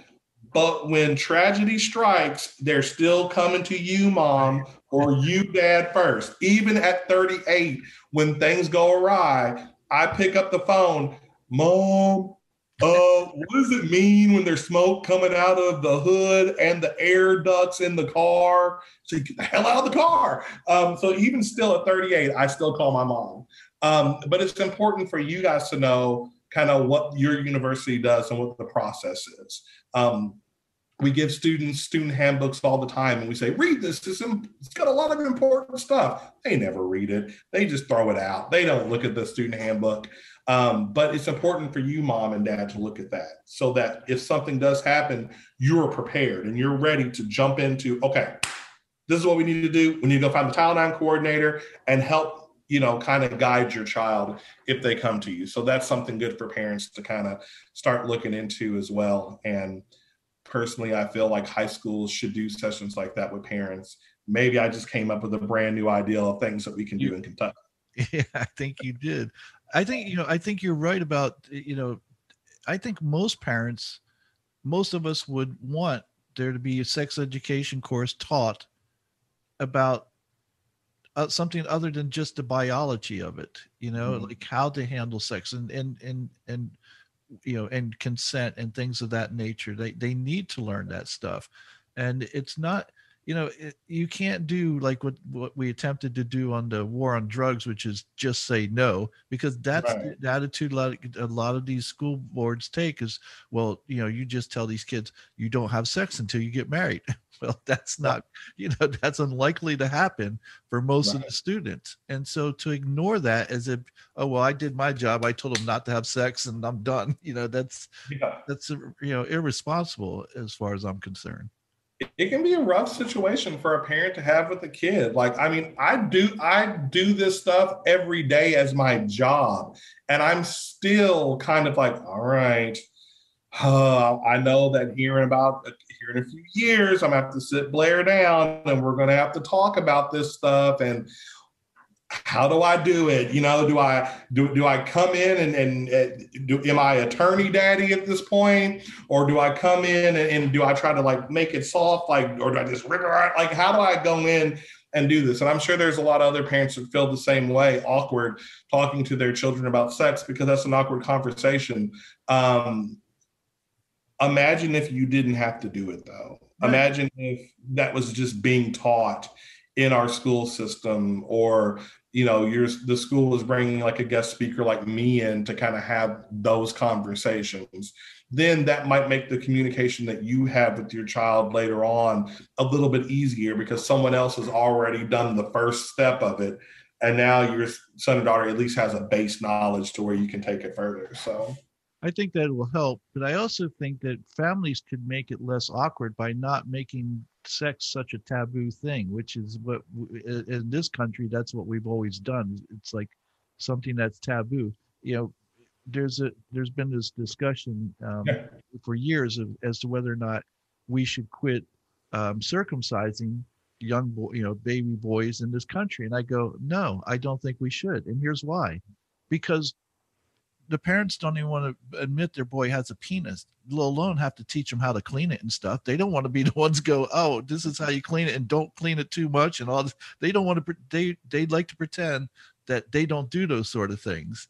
And now yeah. you and I both know that's ridiculous, but that's the, that's the, you know how they look at. It. They're not going to admit that their kids do anything until it's brought in front of them to where they have to you know they have to admit it talking about sex is taboo and as such talking about sex sexual assault prevention and sexual assault period in some areas is even taboo. There are law schools right now in the country that have decided to not teach units on sex crimes. Now murder arson assault all that's cool but apparently sex crimes is where some law student or law schools are starting to draw the line because um, you know, there, in some instances, students have complained and have said, oh, well, you know, this is just a difficult and traumatizing subject to to talk about which like i said blows my mind because there are there's other traumatizing things you're going to talk about in law school.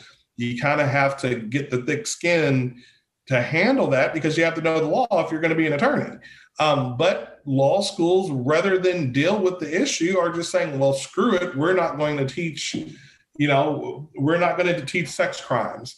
And that just blows my mind. Um, because whenever I went into criminal law, uh, the class for the first time, our professor, when it got to the sex crimes unit, um, you know, our professor, he told us that, hey, schools are, are starting to shy away from this. They're not teaching this but our law school is not going to be one of them. You will learn these this unit here because how can you change the world if you don't know what you're trying to change? Exactly. So, yeah, let's stop. Let's stop making this stuff taboo and get to changing. I agree, and I and I like the way you handled your daughter because I remember a case a few years back where some little boy like eh, he was he was either in kindergarten or he might have been in preschool but he went up and he kissed this little girl. And they made this federal case about it as if he should be charged with sexual assault or something. I go what? You know the kid it, it was innocent. Obviously there's nothing sexual about it when you're four or five years old. And it, and it was just some innocent thing that he did and again eh, like what you did with your daughter said you know some people may not like being hugged and you have to ask for consent and i'm sure that's all the little boy needed instead of made made eh, to feel guilty about kissing a little girl that he you know that was just an innocent you know peck on the cheek or whatever or, or i don't remember if he kissed her on the lips or not but it's not like he slipped her tongue or something it's just yeah. like a little peck you know and it was an innocent gesture and and the adults made it into this, you know, third degree felony that just didn't need to be. there there might be some people that are listening right now saying to themselves, "Are you serious? Like, you, you got to ask for permission for a hug? Uh, like that's ridiculous." But it, it, as you just said, look what it can lead to.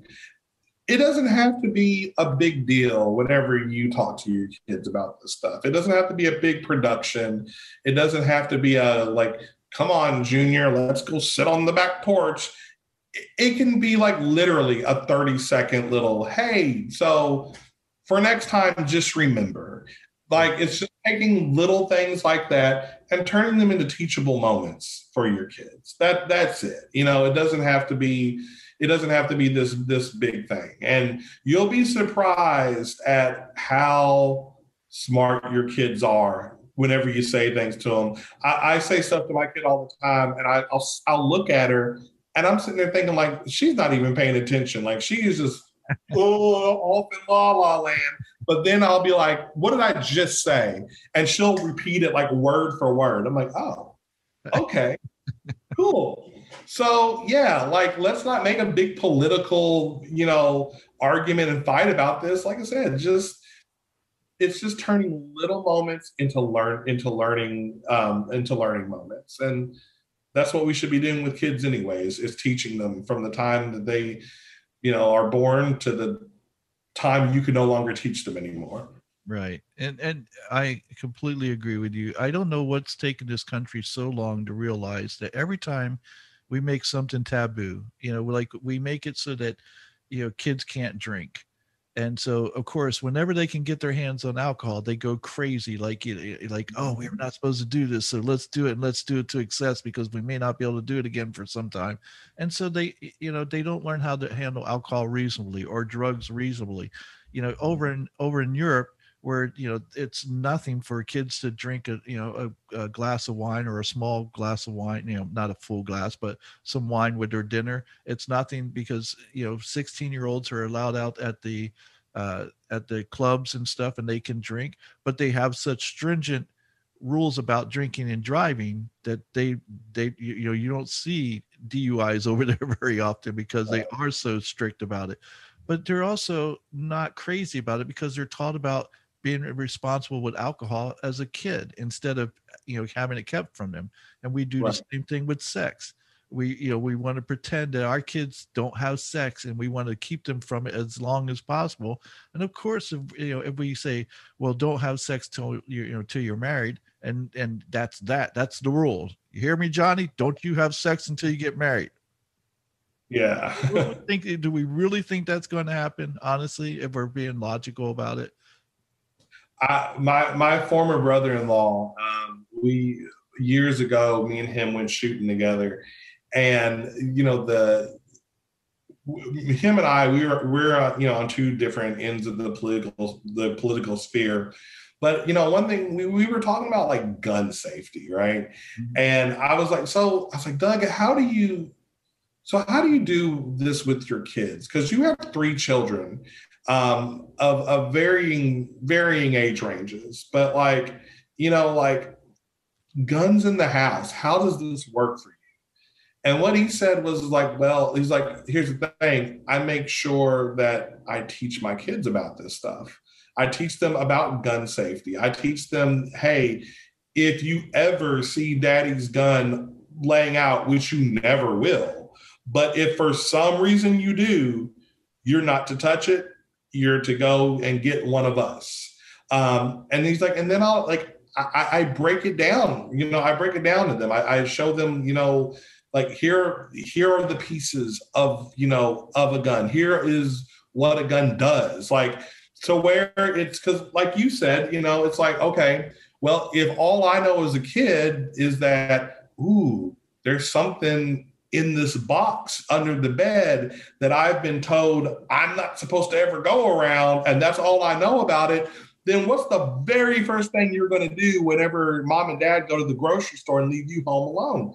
You're going under the bed, you're getting that gun, and you're probably shooting yourself because you don't know what's going on. But, you know, the way he broke it down was like, I educate them and so they understand why guns are. Whoa, it's raining here, and it's raining here in Kentucky, so I just scared the hell out of me. Um, big lightning. Um, but he's like, yeah, my kids understand why guns are dangerous. They understand the consequences uh, of guns, and that just makes things a lot smoother. So it's like, what if we took that approach? Yeah, what if we took that approach with everything?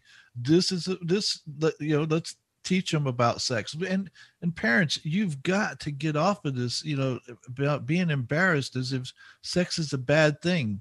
It's not. And it's it's a it's a it's not only not a bad thing it's a natural thing. And yeah. once kids hit puberty you're not going to mm-hmm. stop that. I, am sorry you're just not going to stop it.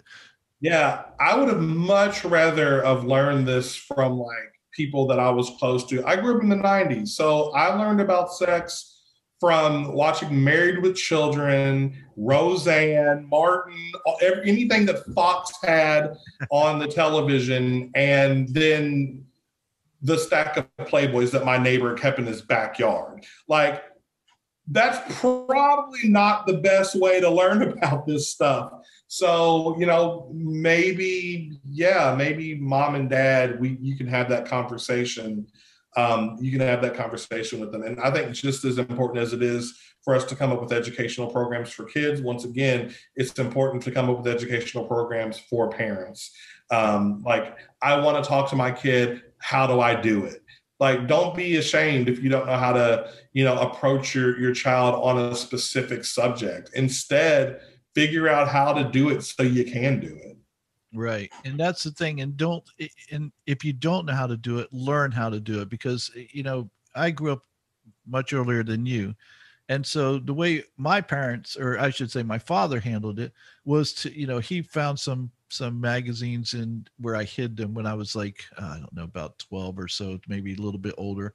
And my neighbor and I found these magazines out in the woods. So we brought them back and we're going to look at them, you know?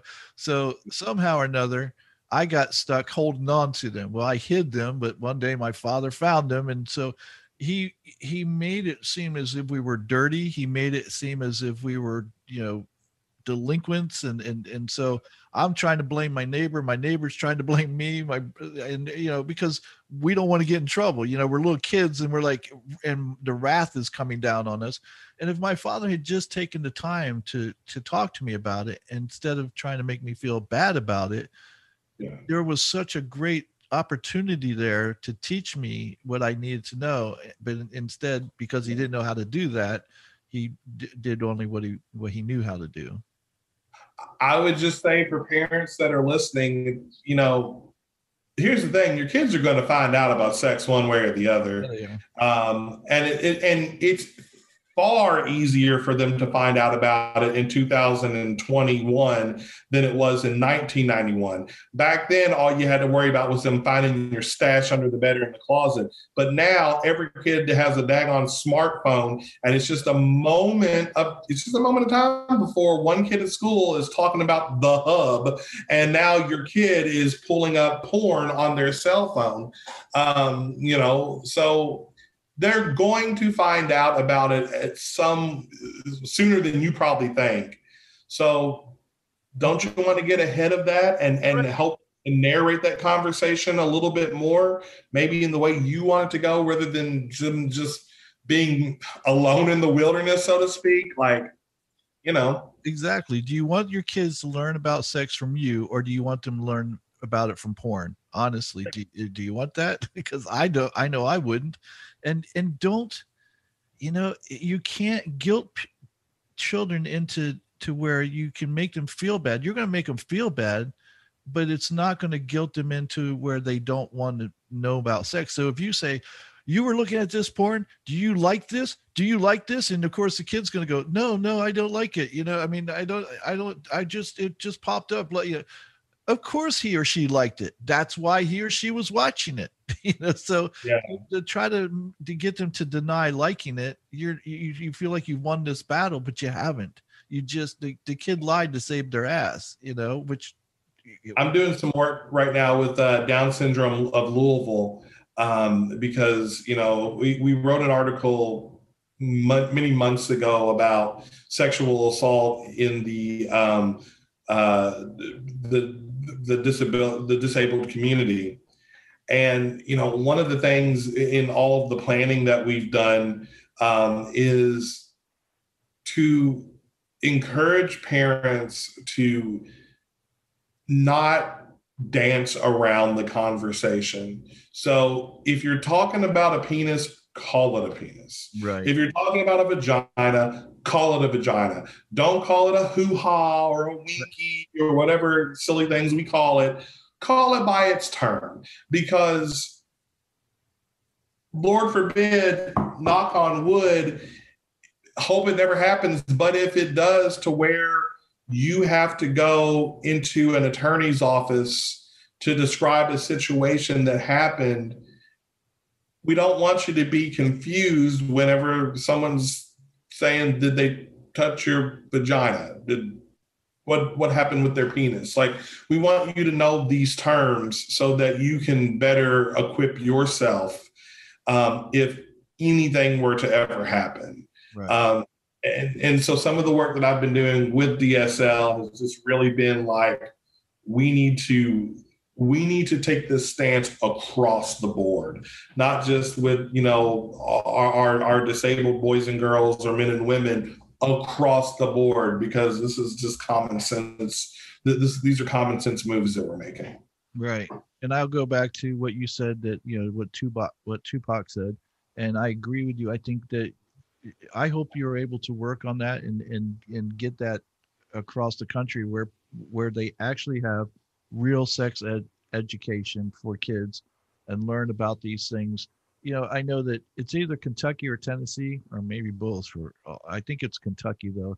Like they they want to ban, uh, and I think they did that you can't talk about homosexuality. So it's as if if you don't talk about homosexuality, then it doesn't exist. No yeah it's like you know, it's like okay well i guess it just disappears then you know and and yeah. so it, and so kids who are gay you know they're they're they don't receive any honest dialogue about what it means to be gay what it you know what that whole thing looks like for them and there's no there's no honesty spoken there. And um and you just you're hurting the children. I mean you're mm-hmm. hurting kids when you don't educate them because you're afraid of it because you because you think sex is taboo and and you don't want to and you don't want to have to speak about it. You want the school to do it but you want the school to do it in a bio in in the biological uh, biological way only. It's like yeah. you know we, we see what I was gonna say what do you think's gonna happen? But we see what happens. So. Well for any parents that are listening right now and are going through it I feel for you I'm with you and you at least got me to where if you ever need you know to like say, hey, how do I start this conversation? You can reach out and I can maybe kind of give you some some pointers on, you know, how to get the conversation started. Cause I mean, parents, we we we parents gotta take care of parents, right? So Right. Well, okay. So with that being said, parents, James just offered you the opportunity to reach out to him and ask him. So if you don't, if you don't know how to, to address your kids about these subject matters, please reach out to him and and ask him and so that way you do more good for your child than you do harm and and that's what that's what we really all want as parents. James mm-hmm. so how can people get a hold of you? Now again let's keep in mind that you wrote the book uh, uh title nine guy. Where mm-hmm. can people find your book? Where can people find you your social media all that? I mean i'll, I'll put it in in the links below but just so if someone's listening on the road right now and they they hear it, they want to go, oh, let me check it out. So the Title IX guy got the book right here. This is what what it looks like. It's uh it's just it's about 177 pages, so not a super long read, but a lot of good knowledge and on a variety of different topics. Everything from um, from male victims uh, with teachers to hazing to silly things that lawyers and politicians have said about sexual assault in the past. There's something in here for everybody. Uh, you can get it from Amazon. Um, it's right now. It's on the bestseller list uh, in the jo- in the uh, gender and law genre. Um, so you can grab a copy on Amazon. Uh, if I have anyone that's listening locally, and when I say local, I mean Louisville or Southern Indiana. Um, we're in Carmichael's bookstore and Mickey's, um, Mickey's Uptown in um, in uh, New Albany, Indiana. Also, for any students listening on your college campuses, um, the, we're making moves to get the book in your library. So, um, you know, if you're if you're in Dartmouth or Yale, or if you're in the University of Louisville or Indiana University Southeast, uh, it's in your library right now, and and it's starting to pop up in more libraries um, around the country. So that might be a good spot for it too. Um, but yeah, Amazon's where you can get that. How you can get a hold of me? Uh, I am the Title IX guy on Instagram, and that's probably the best route to go to get a hold of me at. Um, I post on there every day. I'm typically posting articles that I write.